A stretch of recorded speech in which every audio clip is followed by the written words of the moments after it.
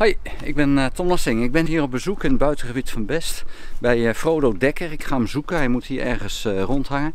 En ik ga eens even met hem praten over wat hij zoal doet hier in zijn prachtige kwekerij.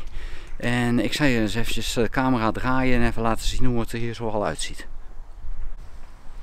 Zo, nou dan lopen we hier op zijn kwekerij. En even kijken.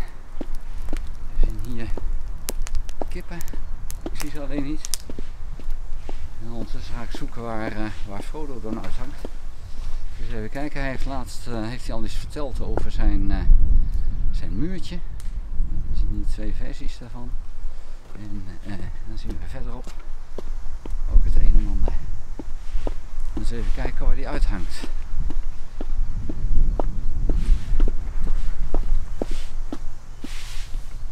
Ja, ik hoor hier iets. Gevonden. Hoi. Nou, Frodo, ik uh, kom even kijken vandaag. Ja, jou zeker. In uh, de kwekerij. Ja, leuk.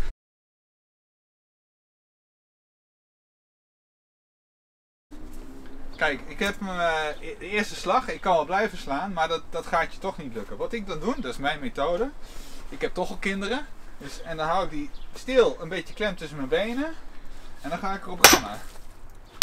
Met een voorkamer. En dan, ja, dan sla ik hem dus door de midden. En in principe is hij nu door de helft. Eigenlijk wil hij nu wel een stuk makkelijker. Als het goed is. Nou, dat zeg ik. Hartstikke idee. Nou, dan hebben we weer in vieren. Wat ik dan doe, is deze. Nu maak ik eerst een hele serie met grof hout. Hè? Maar we doen nu alsof we een heleboel uh, grof hout hebben. En dan pak ik deze bijl. Kijk, laat even het verschil. Dit is een gewone kloofbijl. Die is 3 kilo, dus lekker om te kloven.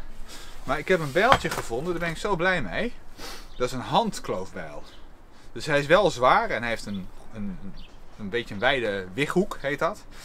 En uh, daar kan je eigenlijk ja, in het kort heel comfortabel mee kloven. Dus ik, ik zet hem ook wat hoger. En dan. Hij klooft in principe bijna alle blokken Hop. En het scheelt een hele hoop energie. In plaats van steeds die hele gewicht van 3 kilo. Dit is anderhalf, nee 1250 gram. Hoef je, steeds, hoef je niet zoveel gewicht. Uh, en je hoeft ook niet helemaal, uh, weet je. Nou, deze pakt hij net niet. Die had ik eigenlijk nog met de kloof moeten doen. Maar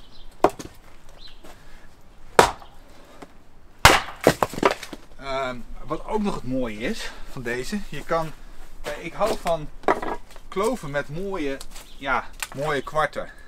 snap je dat het niet te dik, niet te dun. Dus dat je een beetje. En met deze kan je heel gericht kloven.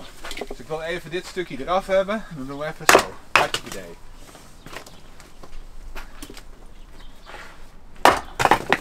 Dus ja, in grote lijnen heb je hier kunnen zien hoe ik zeg maar ja, van groot naar klein uh, brandhout uh, uh, kachelhout aan het maken ben.